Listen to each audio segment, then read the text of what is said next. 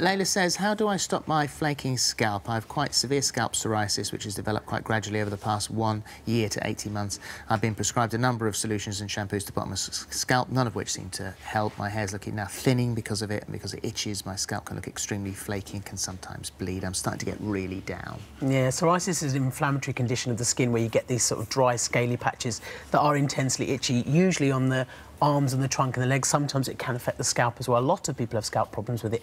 It's tricky to treat because the hair is on the scalp, and because of that, getting the treatment to the skin can be difficult. Some people that have scalp psoriasis find that if they rotate their treatments around, so try things and then move it around, it can be a little bit more effective because with prolonged use, eh, they can become less effective over time. There are lots and lots of treatments out there, lots of topical treatments, so creams, there might be moisturiser-based, steroid-based, tar-based, vitamin D-based creams, vitamin A-based creams, all of those can be obtained through your GP or if you've been referred to a dermatologist.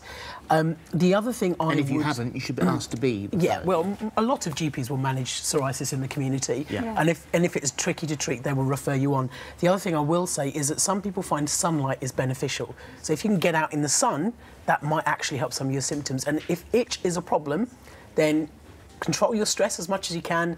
Use all your creams and shampoos. Use cold packs or cold showers on the scalp itself. Steroid creams and treatments and antihistamines are very helpful as all well. All right, thank you. Uh